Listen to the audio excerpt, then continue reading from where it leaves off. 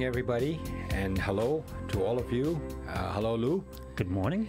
Um, we today are we are going to talk about agoraphobia, the anxiety disease, and other psychiatric disorders. Maybe next time we'll talk about obsessive compulsive disorder. Last time, for those of you who um, listened, we were talking about opiate addiction. Right. Um, now, agoraphobia is something that most of us have met somebody or the other who has this condition. Uh, we might have a family member, a friend, and the treatment is so uh, simple and at times that I thought that I should talk about it because not everybody has this understanding, not even physicians. Um, so agoraphobia is a misnomer. Uh, agoraphobia r- suggests that the name is a fear of open spaces. And it's actually not. It's the exact opposite. Well, it's not claustrophobia, which is a fear Right. of closed spaces, but uh, it's really a fear of losing control, of not being in control. But it started at the time, from what I understand, where people in the Middle East had to come out of their homes, wa- go across a wide open desert towards one of the oases where a ring of camels formed a market. So merchants would bring from all over the place, come to an oasis in the middle, put their tents around a circle around the oasis, and inside would come from people from all over different parts of the desert and buy whatever stuff they needed and then take their camel and ride back home. Right. People who had agoraphobia, my understanding is that they were petrified of going across the desert to that to that uh, uh, marketplace. Like animals like cover. Animals don't like being in the open either. Yeah. They seek cover because Right. they're vulnerable. Right. So here these people were petrified of going, and people misunderstood their fear to be that of going across the open space. What they found out later was that they were not actually afraid of being in the open space as they were afraid of being inside the marketplace, which was crowded. Oh, interesting. So that when they go inside the marketplace, they get hemmed in by all sides with people and goats and children and you know people shouting. And if they wanted to leave to go out immediately they say i can't leave right now. I'm trapped here. Right. and so that fear would cause them to have a panic attack. We've seen this in today's day and age. I've seen it with a lot of people who say i get petrified around christmas time. I don't like to go to the malls i don't like the crowds Right. so I will finish my Christmas shopping by September, and then I don't have to go into the malls. People who are have this fear are afraid of getting going on highways. They're afraid of going through t- tunnels. They're afraid of going through um, uh, barriers where they have to stand in long lines because they say, "What if I needed to get out of the car and leave right now? I Right. couldn't leave because I'm stuck here." Right. the, these people often will go to movie theaters only if they can sit on the last aisle near the entrance at the corner seat. If they go to church, they will go way ahead of time before everybody else and sit towards the end on the aisle at the last uh, thing. Right. If they go to restaurants, they will um, either pick a table right next to the door or not go to restaurant. They'll pick up food as takeout and take it home. Many of them have said to me, Well, I'm afraid that even if I get a table right next to the door, what happens if I order and the food is there, I've eaten, and I say, Can I have my bill, please? And she says, It'll be here in a minute, Right. but wait till I come back. And I need to leave right then and there. Lost I control of when you can leave, right? Yeah. so these people have often gone to supermarkets um, after uh, uh, hours when it's like late night when there's one or two tr- Right. uh, people and not long lines because what they're afraid of is if they have a whole shopping cart and they're standing at the cashiers and they've emptied half the uh, cart and now they want to leave the cashier will say you can't leave you just emptied half this cart you got to pay for everything Right. empty your cart before you can leave. So th- what they do is they go inside, they'll take like 10 pieces of uh, material, put it on the counter, pay for it, go put it in their car, come around, do another 10. Really? And they keep going Quick checkout. around. Yeah. Yeah. So the fear is, oh, they will not get onto planes. Oh. commercial planes. I can imagine. Yeah. Because they say once I'm in the plane, people used to misunderstand that they were fe- afraid of closed spaces, but it's actually the fear of not being in control of wanting to leave when they want to leave. So they will fly their own planes. So they're not afraid of the Interesting, yeah. fly, uh, heights, and they're not afraid of the fear of the small uh, plane, but they're afraid of not being in control. Um, so agoraphobia is not a fear of open spaces, it's a fear of not being in control. Um, panic attacks often happen with a combination of three different things, and my mind is racing to say, How much can I tell the audience? There's so much to tell. Yeah. Um, what exactly causes panic attacks? And so imagine that you have a cup that, when filled and it goes over the top, that filled cup produces a panic attack. What fills that cup? Three things. One is underlying genetics. So, if a person has a mother and father and uncle, aunt, grandparents, all of whom have had severe panic attacks, anxiety attacks, that cup is already, let's say, half full because your genes predispose you to having panic attacks. So it's a genetic. There's a genetic s- element to this as well. one of the three. Yeah. Yeah. So the second component is um, stress. So if you were on a Hawaiian island and nothing to bother you, you're completely at peace, very Yep. peaceful, there's no stresses, that there's no and you had no genetic predisposition, your cup is empty. Right. Um, but let's say you have a, no, a lot of stress. In addition to having a lot of genetic predisposition, your cup is almost already full. Right. The third component is chemicals that you put into your system. Interesting. So, caffeine, artificial colorings, artificial preservatives, MSG, frozen uh, kinds of stuff that is maintained with preservatives in there. Um, I, I'm missing a lot of stuff. I haven't done this for a few years, but there's a long list of stuff that you will predis- predispose you to having panic attacks. Not bad. Generally processed food. generally Yes, speaking? processed food for Yeah, sure. Yeah. Because that's what uh, Yeah. extends self, uh, shelf life. Right. Uh, just as an aside before I forget it, many of these people, people say, when is the worst time for psychiatric patients? People think it's Christmas time. It's actually not. It's right after 4th of July. And the reason it's right after 4th of July is because everybody goes out on the 4th of July to have outdoor barbecues. Right. And they have preserved foods like hot dogs. Hot dogs are notorious for people giving people panic attacks Really. and uh, hot dogs, uh, meats. Uh, people don't realize often that the meats in the summer are transported from the Midwest or the West across train lines where the carcasses are hung on uh, in the train, not air conditioned. But they're injected with a whole bunch of preservatives to keep them from spoiling until they come to Hunt's Market in New York City. Interesting. And so those chemicals precipitate in certain patients um, panic attacks.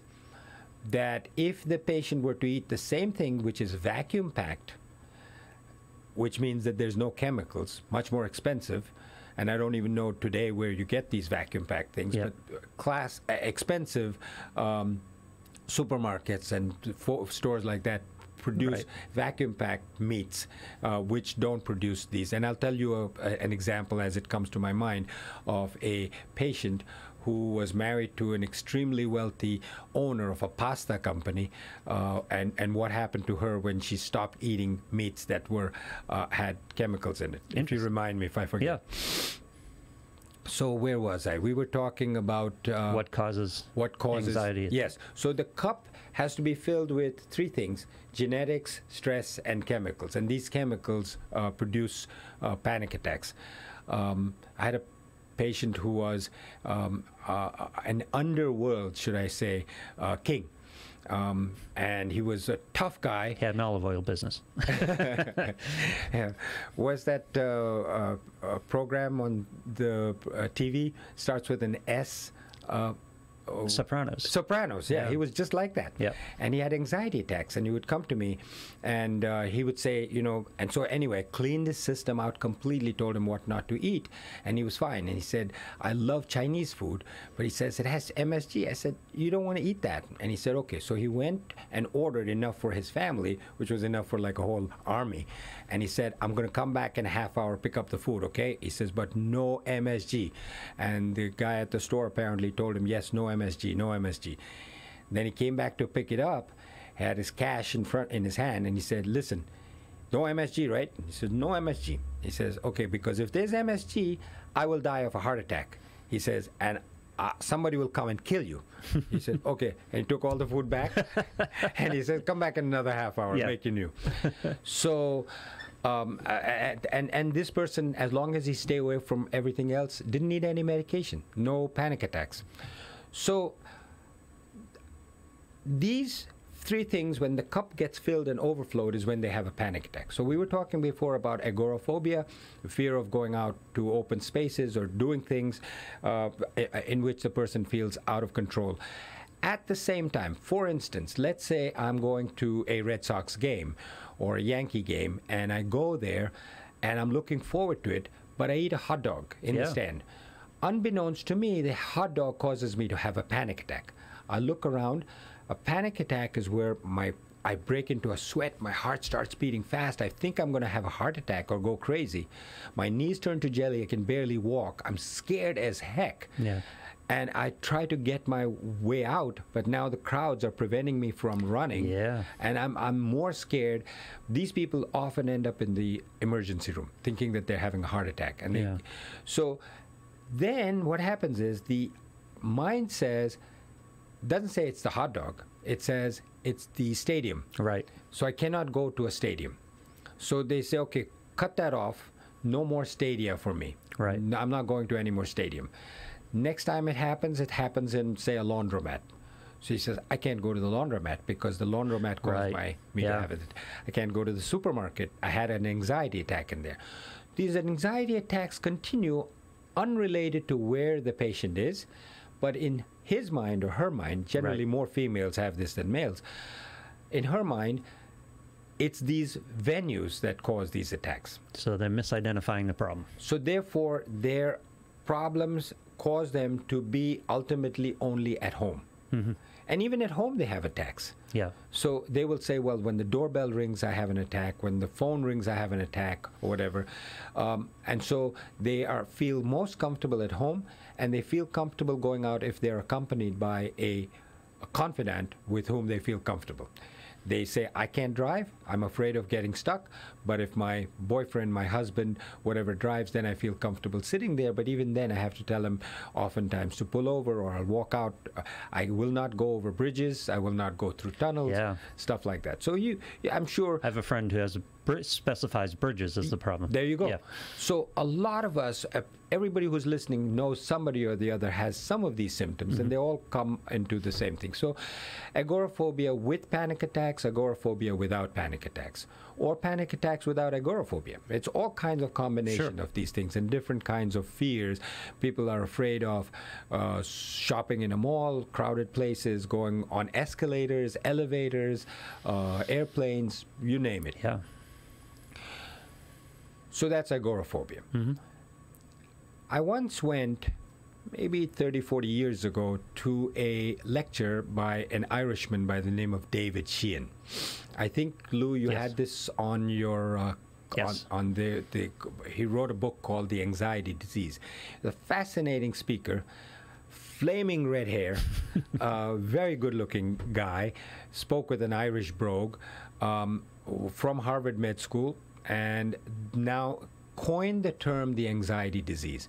And basically says that all of these different anxieties that occur, whether it be school phobia, phobia of going separating separation anxiety afraid of leaving mom and moving away uh, going to camp going away to college getting married all of these different anxieties all fall under the same rubric of an anxiety disease. They're all the same chemically generated um, uh, for fear Events, yeah.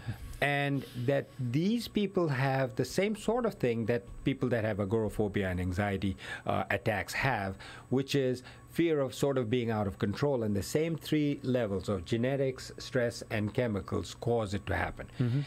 In the past, and from those of you who have seen my beginnings in psychiatry going back to the mid early 70s, I, I trained as a psychodynamic psychotherapist, I trained as a psychoanalyst, and then I got into medications. We didn't have medications back then. But at that time, people didn't use medications for this. They sat down and they talked about your background, your Right. family, your mother, what caused these symptoms. Today, one prescription is all it'll take.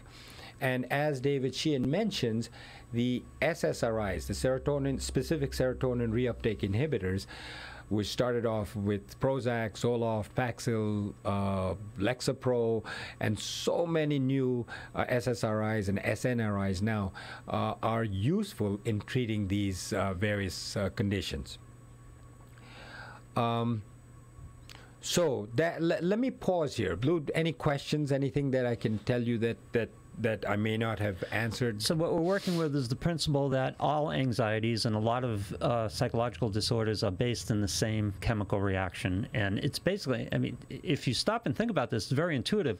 Loss of control. People are very uncomfortable when they don't have control over the situation. right? yes, That's the basic thing. that's the basic thing, right? But we've moved away from treating that with psychotherapy, and it's more into a chemical or a drug-based response. Yeah. So it, it, they've it was narrowed down to, and its field has grown broader since then. But it started off with a feeling and understanding that this was related to a um, too heavy uptake of serotonin.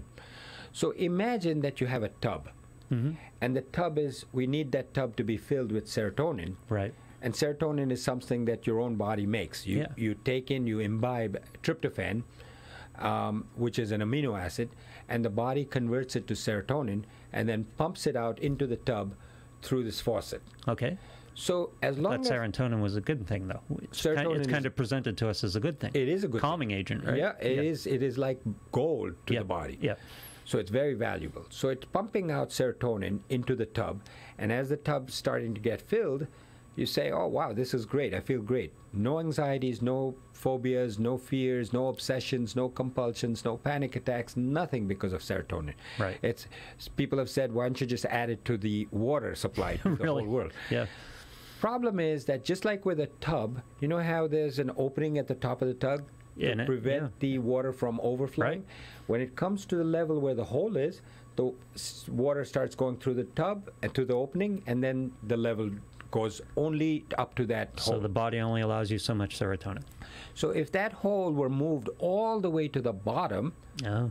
right, to say, well, I don't want, I want to be extra careful that it doesn't go up to the top. I'm going to move this hole lower and lower, and lower, so that as soon as the serotonin goes up even just half an inch, it starts to go through the drain. Interesting. So the body does that? Body does that because it says, I don't want the serotonin to be uh, wasted, so I'm going to reuptake. It's known as a reuptake pump. So the reuptake of that serotonin through that hole is so heavily active that it actually deprives the body of serotonin. Interesting. At the m- minute the receptor starts to secrete serotonin into that person's body, another reuptake pump says, whoop, whoop, too much serotonin, reuptake Right. it, don't waste it, and reuptakes it so that the the other side is completely empty. So is this a genetic physical condition or is this a psychological condition? So what Sheehan says is that this is often genetic, physiological, and actually worsened as time goes on. Really? Yeah, through the generations. Yeah. So what he says is that the Irish, for instance, he's Irish, so he can talk about. So am I, so I'll check him on this one. So he says the Irish typically had a lot, lot of these anxiety disorders, and he says that what helped them, they found, Whiskey. was a? Whiskey. whiskey, a stiff drink or a double of a drink. Yeah. He says when they took it, if they were panicking because they were in a crowd or whatever, they would take this and immediately the fears would go away. And then they could talk a mile a minute. They Right. had no social phobias. They were all, and so it actually promoted because they would drink until they had their next child. And as we know, the alcoholic gene sort of passes down, and so the desire would be passed down through their genes Right. to the next generation. I'm not saying this. This could be very controversial. Oh, yeah. I'm just saying what David Sheehan says. We're speaking clinically. Right. Yeah. Clinically, so he says there are certain families, certain genetic traits, certain cultures where alcohol is used to control these anxiety disorders because they sort of run in mm-hmm. families and they use alcohol. And what happens, he says, And generally speaking, the Irish, for example, just an example, and again speaking clinically, their serotonin overflow support is kind of low, generally speaking. Gen- for those patients among those that we're talking about. Yeah. So he says that there are certain cultures, and he identifies a lot of them. It just stuck in my mind that he'd mentioned the Irish because of his flaming red Irish, hair and yeah. his, he was Irish. But um, so he says there are people who do this. Now you've got a double problem. You've got to control the anxiety as well as the alcoholism. Mm-hmm. Oftentimes you would think that well I've controlled the alcohol the the anxiety now he no longer has anxiety the alcoholism will go away but it doesn't because the tendency for the person to reach for a glass ha- is there now because of another condition that is genetic. Right. Yeah. And we talk about these disorders, whether you mentioned alcoholism or anxiety in general, we have to understand that they come in varying degrees, right? I mean, Yes. we when you say alcoholism, we all have a certain picture of what it is, but there are many degrees Many degrees. of, of dependency on alcohol. And, and many of these people will only drink when they're in a situation where they're afraid. Right. They won't drink otherwise. And their anxiety comes in many levels too. There are people who won't cross a bridge, for example, and then people who just have a low uh, chronic anxiety all the time. People are just going through their lives every day Yes. with a certain level of anxiety. May not be big enough so it presents a problem that someone would point out, but they're still dealing with it. Correct. Yeah. Correct. So uh, there's a lot to talk about with all of these conditions the agoraphobia, Yeah. the anxiety disease. Um, hopefully, you've put the cover of the book on the um, Facebook page, and people can look at it and see if they can read it.